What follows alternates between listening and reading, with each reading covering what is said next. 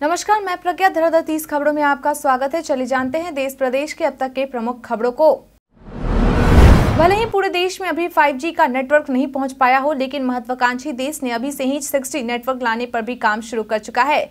इससे साफ़ है कि अगले एक दो वर्षों में जब पूरा देश 5G नेटवर्क से लैस हो रहा होगा, उसके कुछ ही वर्ष बाद 6G नेटवर्क भी आने की तैयारी कर चुका होगा। यह तेज़ी से विकास की पटरी पर दौड़ते और विकसित भारत का सपना देखने वाले देश की प्रबल महत्वाकांक्षा को दर्शाता है। प्रधानमंत्री नरेंद्र मोदी ने पंद्रह अगस्त को लाल किले की प्राचीर से ही ऐलान कर दिया था की देश में सिक्स नेटवर्क भी जल्द आएगा। यह विकसित भारत के सपने को पूरा करेगा। भारतीय नौसेना अगले सप्ताह एक नए स्वदेशीकरण रोड मैप का अनावरण करेगी, जिसमें विभिन्न महत्वपूर्ण प्रौद्योगिकियों और प्लेटफॉर्म में आत्मनिर्भरता सुनिश्चित करने के लिए एक विशिष्ट पहलू की रूपरेखा बताई जाएगी। दो दिवसीय विशाल संगोष्ठी में पानी के भीतर ड्रोन, अग्निशमन प्रणाली और रोबोटिक्स से संबंधित घरेलू प्रौद्योगिकियों का प्रदर्शन किया जाएगा। रोड मैप चार और पाँच अक्टूबर को आयोजित होने वाले वार्षिक स्वावलंबन सेमिनार के दूसरे संस्करण में जारी किया जाएगा। प्रधानमंत्री नरेंद्र मोदी इस सम्मेलन में भाग लेने वाले हैं।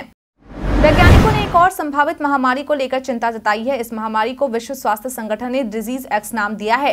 डब्ल्यूएचओ ने कहा कि यह हो सकता है कि यह दुनिया में फैलने शुरू भी हो चुकी हो। यूके के हेल्थ एक्सपर्ट्स ने डिज़ीज़ एक्स के बारे में कहा है कि जल्द ही एक नई महामारी देखने को मिल सकती है, जो कोविड उन्नीस से भी अधिक घातक साबित होगी। उन्नीस सौ में स्पेनिश फ्लू से दुनिया भर में पाँच करोड़ लोगों की जान गई थी और डिज़ीज़ एक्स के कारण भी इतनी ही मौतों की उम्मीद की जा सकती है। एफएसएसएआई ने एक नए नियम जारी करते हुए खाद्य पैकेजिंग में अखबार और बेकार प्लास्टिक के इस्तेमाल पर पूरी तरह से रोक लगा दी है। भारतीय खाद्य सुरक्षा और मानक प्राधिकरण ने लोगों के स्वास्थ्य को ध्यान में रखते हुए यह फैसला लिया है। इस निर्णय के पीछे एफएसएसएआई का एकमात्र उद्देश्य खाद्य सामग्री में हो रहे सूक्ष्म जीव विज्ञानी, रासायनिक, भौतिकी और वायुमंडलीय प्रदूषण में हो रहे बदलाव के कारण आमजन के स्वास्थ्य पर पड़ रहे बुरे असर से बचाना है। साथ ही उन्हें एक बेहतरीन खाद्य सामग्री प्रदान करने का उद्देश्य है।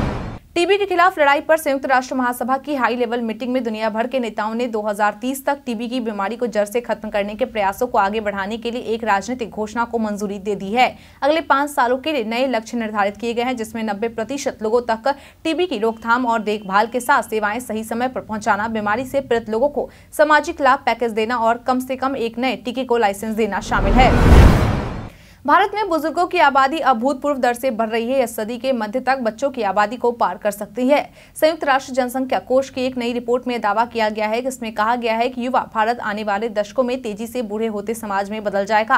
भारत दुनिया में किशोरों और युवाओं की सबसे अधिक आबादी वाले देशों में से एक है। यूएनएफपीए की इंडिया एजिंग रिपोर्ट दो हज़ार तेईस के अनुसार राष्ट्रीय स्तर पर बुज़ुर्गों की आबादी का हिस्सा दो हज़ार इक्कीस में दस प्रतिशत से बढ़कर दो हज़ार छत्तीस में पंद्रह प्रतिशत और दो हज़ार पचास में बीस प्रतिशत होने होने का अनुमान है। भारत सरकार के सूत्रों का दावा है कि खालिस्तानी आतंकी हरदीप निज्जर की हत्या असल में पाकिस्तान की खुफिया एजेंसी आईएसआई ने कराई है। सूत्रों के मुताबिक निज्जर की हत्या असल में ड्रग्स के कारोबार पर नियंत्रण की वजह से हुई है। निज्जर की हत्या में कनाडा स्थित आईएसआई के दो एजेंट राहत राव और तारिक कियानी शामिल हैं। ये दोनों भारत की मोस्ट वांटेड सूची में शामिल हैं। जोशीमठ में सबसे अधिक भू धंसाव दिसंबर 2022 से जनवरी 2023 के बीच हुआ national institute of geophysical institute, Hyderabad के अध्ययन में एक किलोमीटर लंबाई की लाइन में सैटेलाइट से लिए चित्रों में जोशीमठ के 6 सेंटीमीटर से एक मीटर तक धंसने के आंकड़े दर्ज किए गए। हालाँकि एक मीटर तक भू धसाव एक सीमित क्षेत्र में था। इसके साथ ही ज़मीन के भीतर दस मीटर तक बड़े बोल्डरों का पता चला। प्रधानमंत्री नरेंद्र मोदी ने यूट्यूब पर दिखाई जाने वाली विशेष सामग्री के निर्माताओं से अपने काम के ज़रिए स्वच्छता, डिजिटल भुगतान और वोकल फॉर लोकल अभियान पर जागरूकता फैलाने का बुधवार को आग्रह किया। उन्होंने कहा, देश को जागरूक करो, एक आंदोलन शुरू करो। उन्होंने कहा कि वह पंद्रह वर्ष से एक यूट्यूब चैनल के माध्यम से देश और दुनिया से जुड़े हुए हैं। मोदी ने लगभग पाँच विषय सामग्री निर्माताओं को संबोधित करते हुए कहा कि उनकी विषय सामग्री लोगों को प्रभावित करती है और उनके पास इसे और अधिक प्रभावी बनाने का मौका है।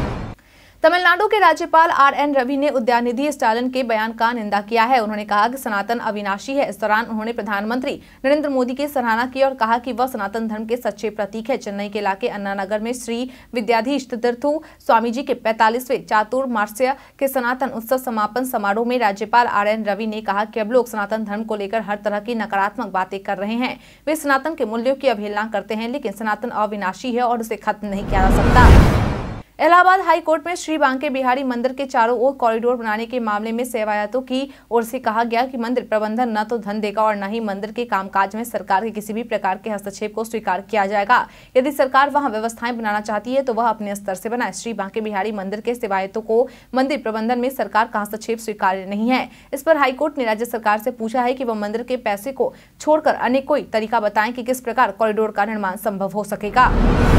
राष्ट्रीय विधि आयोग ने बुधवार को अपने सदस्यों के साथ एक देश, एक चुनाव सहित तीन मुद्दों पर विचार करने के लिए बैठक बुलाई। इनमें से एक राष्ट्र, एक चुनाव मामले पर कुछ पेज फंसा है, लेकिन बाकी अन्य दो मामलों पर सर्वसम्मति बन गई। लॉ कमीशन की बैठक खत्म होने के बाद आयोग के अध्यक्ष ऋतुराज ने कहा कि बुधवार की बैठक में हमने एक राष्ट्र, एक चुनाव की अवधारणा पर चर्चा की, लेकिन इस मुद्दे पर कोई ठोस नतीजे पर नहीं पहुँचे हैं। लगता है कुछ बैठक और करनी होगी। अंतिम रिपोर्ट भेजने से पहले और बैठक होगी। जानवरों पर किए गए टेस्ट में मिली सफलता के बाद जापानी फार्मास्यूटिकल स्टार्टअप ने खोए हुए दांतों को फिर से उगाने वाली अपनी नई दवा का ह्यूमन क्लिनिकल ट्रायल शुरू करने की तैयारी कर ली है। इस दवा को अपनी तरह की दुनिया की सबसे पहली दवा कहा जा रहा है। जापान टाइम्स ने इस बारे में बड़ी रिपोर्ट जारी की है। उसका दावा है की दवा के बाद जानवरों में सफलतापूर्वक नए दांत उगाए हैं। इसी दवा से पाँच साल पहले चूहों में नए दांत उगाए गए थे। केंद्रीय स्वास्थ्य मंत्री मनसुख मांडविया ने कहा कि कार्यक्रम के दौरान कैंसर को एक ऐसी बीमारी बताया जो साइलेंट है। मंत्री ने कहा कि संजीवनी का मुख्य लक्ष्य कैंसर के प्रति जागरूकता को बढ़ावा देना है। लोगों को इस बीमारी से जुड़ी जानकारी देनी है ताकि उनका डर दूर हो सके। मांडविया ने कहा कि कैंसर के इलाज में जिन नब्बे दवाओं का इस्तेमाल होता है, उनमें से बयालीस भारत द्वारा बेहद सस्ती कीमत पर दिया जाता है। संजीवनी यूनाइटेड अगेंस्ट कैंसर पहल के उद्घाटन के अवसर पर मंत्री ने ये बातें कही। अमेजन को लेकर एक बड़ी खबर सामने आई है। कंपनी को अपने 30 साल के इतिहास में सबसे कठिन कानूनी लड़ाई का सामना करना पड़ रहा है। अमेरिका में अमेजन पर संघीय व्यापार आयोग और 17 स्टेट अटॉर्नी जनरल की ओर से मुकदमे दर्ज कराए गए हैं। आरोप है कि कंपनी अपने प्लेटफॉर्म पर और उसके बाहर कीमतें बढ़ाने, विक्रेताओं से ज़्यादा शुल्क लेने और प्रतिस्पर्धा को दबाने के लिए बाज़ार में अपनी स्थिति को दुरुपयोग करती है। पाकिस्तान टीम वर्ल्ड कप को लेकर कई महीनों से चर्चा में बनी हुई थी। एशिया कप की मेजबानी से लेकर वर्ल्ड कप के लिए भारत ने आने तक कई कई मुद्दों पर दोनों देशों के क्रिकेट बोर्ड के बीच बहस दिखी। लेकिन अब मेगा टूर्नामेंट के लिए पाकिस्तान टीम हैदराबाद में लैंड कर चुकी है। हाल ही में पाकिस्तान टीम को भारत यात्रा के लिए वीज़ा न मिलना एक सवालिया निशान बना हुआ था। लेकिन पच्चीस सितंबर को यह समस्या दूर हुई और टीम सात साल बाद भारत में लैंड हो चुकी है। देश में डेंगू के मामले बढ़ने के मद्देनजर केंद्रीय स्वास्थ्य मंत्री मनसुख मांडविया ने बुधवार को अधिकारियों को निर्देश दिया कि वे मच्छर जनित बीमारी पर अंकुश लगाने के लिए पूरी तरह से मुस्तैद रहें और निवारक उपायों का मज़बूत करें। स्वास्थ्य मंत्रालय ने एक बयान में कहा कि मांडविया ने एक उच्च स्तरीय समीक्षा बैठक की, अध्यक्षता की और इस दौरान उन्हें देश भर में डेंगू की स्थिति के बारे में जानकारी दी गई। अभिनेता अमिताभ बच्चन द्वारा होस्ट किए जाने वाले गेम शो कौन बनेगा करोड़पति के एक एपिसोड में? कॉमेडियन गौरव कपूर का नाम ऑप्शन के तौर पर दिया गया था। इसे लेकर गौरव कपूर ने प्रतिक्रिया दी है और कहा है कि एक ऐसी उपलब्धि है। दरअसल केबीसी में नाम आने के बाद यूज़र्स गौरव को इस खास उपलब्धि के लिए बधाई दे रहे हैं। अब इसी को लेकर गौरव कपूर ने मज़ाक के अंदाज में प्रतिक्रिया दी है।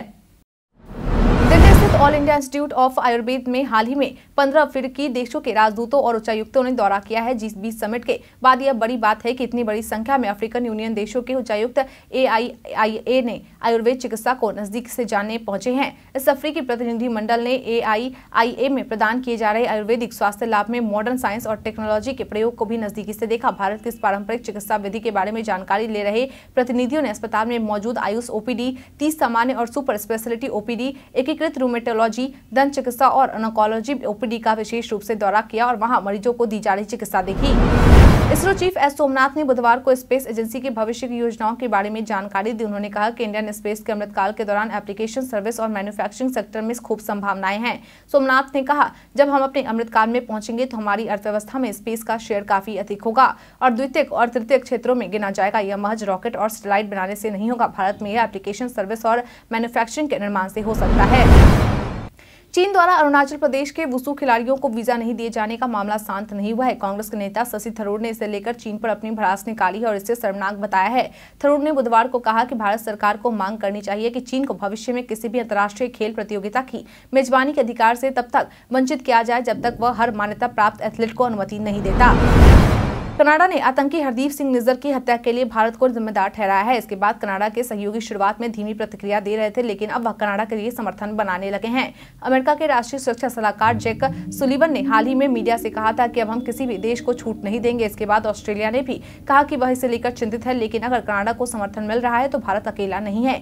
एशिया के दो देश भी कनाडा पर हमला बोल रहे हैं। श्रीलंका के विदेश मंत्री अली साबरी ने कनाडा पर करारा हमला बोला। उन्होंने कहा कि कनाडा आतंकवादियों के लिए एक सुरक्षित पनाह रहा है।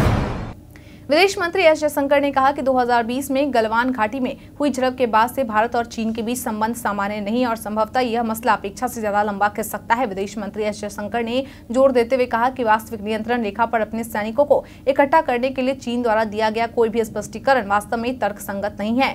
भारत लगातार कह रहा है की पूर्वी लद्दाख से लगती सीमा पर हालात सामान्य नहीं है एवं एल पर शांति एवं सौहार्द दोनों देशों के द्विपक्षीय संबंधों को सामान्य बनाने के लिए अहम है।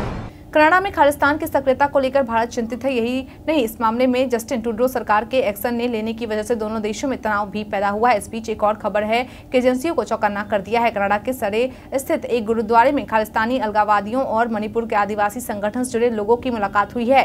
इसे लेकर एजेंसी सतर्क है और दोनों पर नज़र रखी जा रही। North American Manipur tribal association के कनाडा चैप्टर के प्रेसिडेंट लेइन गांगटे ने इस आयोजन में भाषण भी दिया था। कलकत्ता हाईकोर्ट के जज जस्टिस अभिजीत गंगोपाध्याय ने बुधवार को भरी अदालत में पूछा कि क्या सीबीआई सुप्रीम कोर्ट के किसी भी रिटायर्ड जज के खिलाफ जाँच कर सकती है। जस्टिस गंगोपाध्याय ने कहा कि ऐसा लगता है कि एससी के पूर्वज की बंगाल शिक्षक भर्ती घोटाले में आरोपी और तृणमूल कांग्रेस के नेता मानिक भट्टाचार्य से संबंध है। भट्टाचार्य फ़िलहाल जेल में बंद है। सुप्रीम कोर्ट के जिस पूर्वज के खिलाफ जाँच की बात हाईकोर्ट के जज कर रहे हैं, वह इसी साल सेवानिवृत्त हुए हैं।